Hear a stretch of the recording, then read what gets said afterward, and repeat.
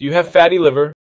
Or do you have diabetes? Or do you have both together? In this video, I'm going to tell you the 10 best fruits for those with fatty liver and diabetes, and also the 5 worst, the ones you will avoid. You will moderate consumption, you will reduce. Because many people have asked. I have already made a specific video about fatty liver and another about diabetes. And many people questioned it. Which ones are best for these two situations? The principle of the best and also the worst fruits are very similar principles. You have to understand two things. I know you're curious to know the list of the best and worst, but you won't eat anything if you don't know these two principles here. That's key. Even more important than knowing which are the best fruits. Because if you understand that, you can better control both fatty liver and diabetes, and you will understand why one food is better and another is worse. The two things I want you to know. The first concept is the concept of glycemic index. What is it? What is the glycemic index? It's when you eat, you're going to do the digestion. How much will that food raise your blood sugar? The simpler a carbohydrate is, a simpler sugar, the higher the glycemic index will be. If you add fiber, for example, you'll slow down that absorption. So it's going to lower the glycemic index. That's why one of the tips, if you've seen other videos, is to increase your fiber intake. Because that way you reduce the glycemic index. So you don't have that blood sugar spike. So you're not going to have the increased insulin secretion, an insulin spike to try to compensate for that. And this process, this metabolic alteration, is present both. So have a preference for foods, fruits of low glycemic index. And you're thinking, but what is low glycemic index? I'll provide the definition so you can understand this ranking, this classification.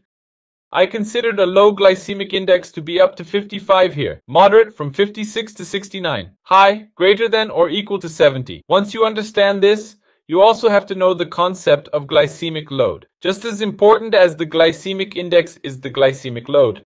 That's how much sugar is in each serving in each amount. Now that you know what a glycemic load is, you have to understand what a low, moderate, and high glycemic load is. Up to 9 grams of carbohydrate per serving is a low glycemic load, from 10 to 19, medium or moderate, and greater than or equal to 20 grams per serving is a high glycemic load. Those portions that you're going to avoid, you'll understand now with the rating. If you didn't understand this concept, Go back a little bit in the video because it's fundamental. This is for your life, not only to understand the content of the video, but also to be able to better understand how these diseases work. Why? There's no point in having a moderate or low glycemic index and having a very high glycemic load. It's also going to be bad for you, both in liver fat and in diabetes. So, the concept of glycemic load is how much sugar is in each serving. To be able to compare, I put equal portions. What is the portion? 120 grams.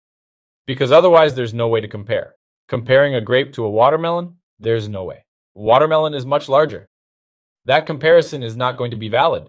So that's why this list that I'm going to give you is a little different from other lists that you find on the internet, because many only consider the glycemic index. And here I'm also considering the glycemic load, because it's just as important as the glycemic index.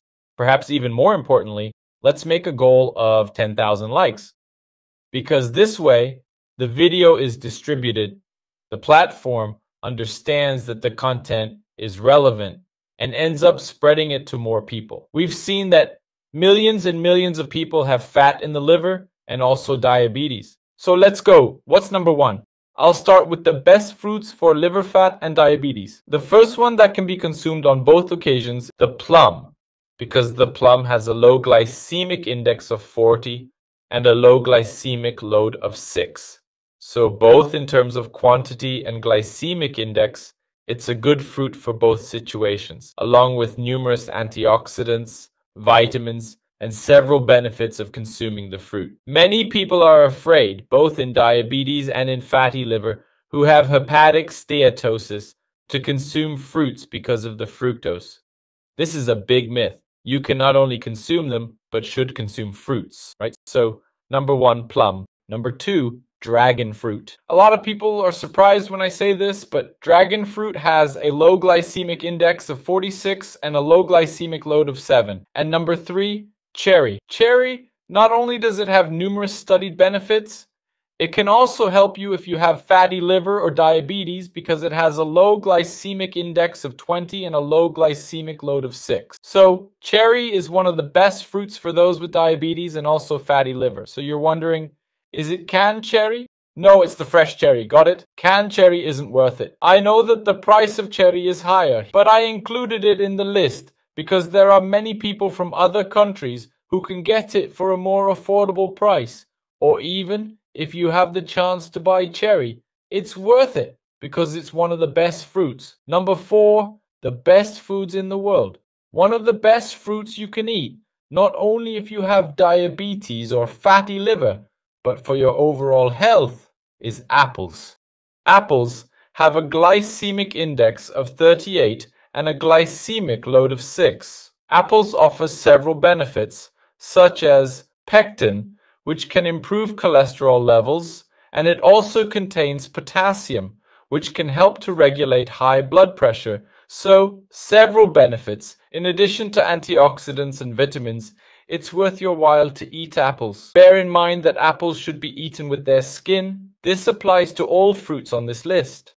So, apples with skin, because it increases the fiber content and reduces the glycemic index, thus slowing absorption. And all fruits are fresh fruits, also very crucial. I know you're going to ask about juices. Is apple juice any good? Orange juice, mango juice, grape juice, even if it's whole fruit? No. Juices are concentrated and are low in fiber, so in the case of apple juice, which I'm putting as number four on the list, it's not good for those who have fatty liver or diabetes. Does that mean it's completely prohibited? No, but you will want to avoid juices because they contain very simple carbohydrates, simple sugars, thus they have a high glycemic index and are concentrated, which gives them a high glycemic load, so avoid juices. I'm not going to include it in the list here, but you guys asked a lot in the other video about lemon, as you're hardly going to eat a lemon.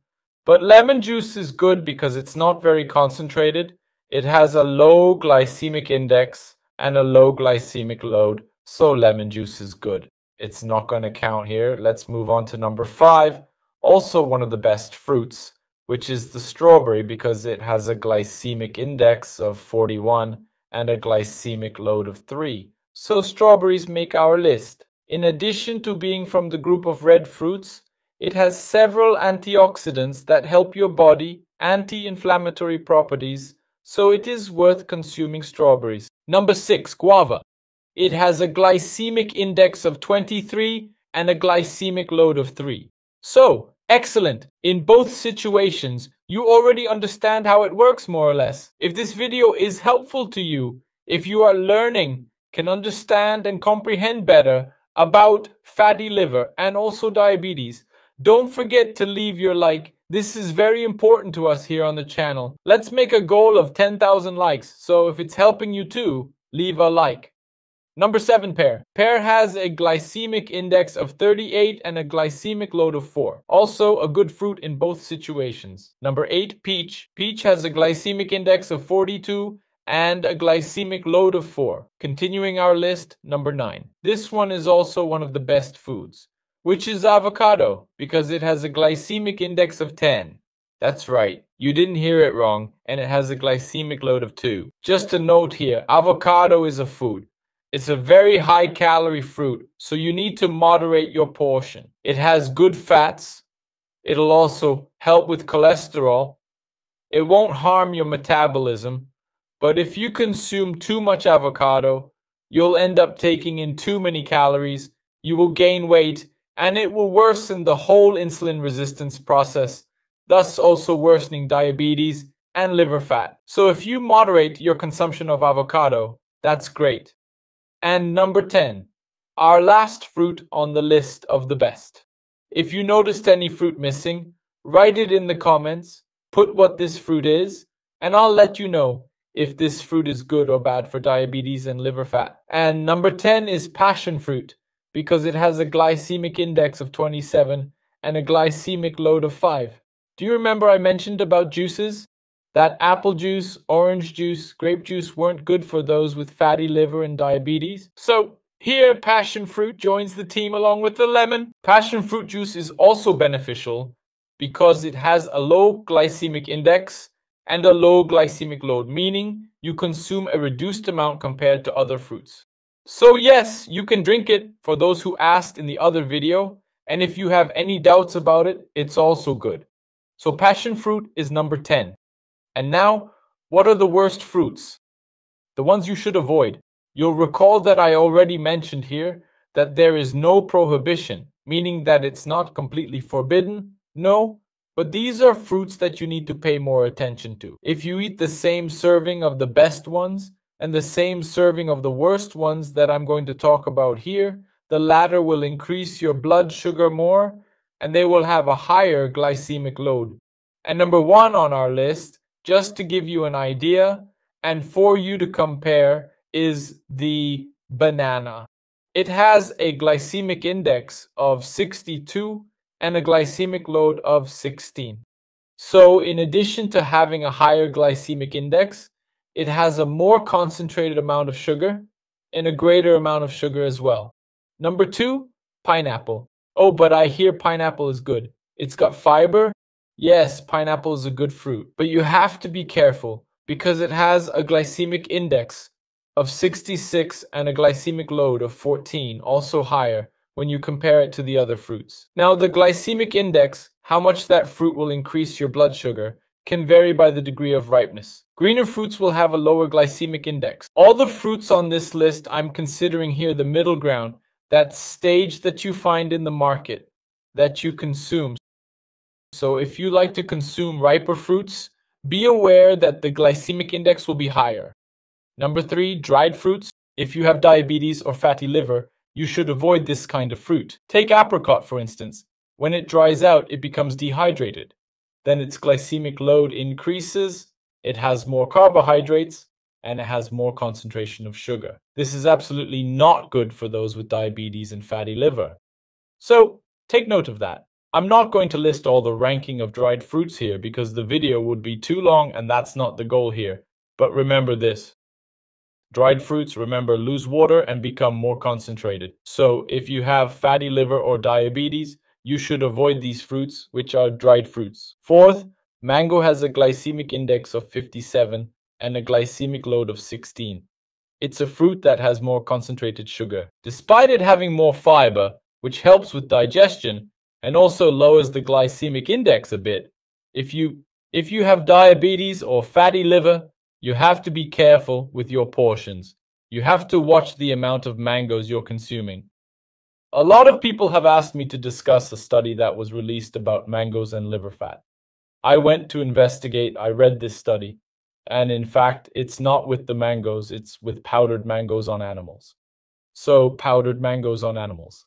Be careful with the interpretation here, be careful even with the news. People put it online. So, powdered mangoes on animals? under these conditions had a benefit in reducing fat in the liver, but this was not seen in humans or with the mangoes. Let's then move to number five, which is grapes. I really like grapes, but if you have fatty liver or diabetes, I know it has polyphenols, it has many antioxidants. It's a very good fruit, but it has a glycemic index of 60 and a load of 12. You have to take it easy. You have to pay attention to the amount of grapes you're going to eat. If you like this video, rate it from 0 to 10. If it's 10, I'm going to make more videos like this. Also write down which city you're watching this video from, which part of the world.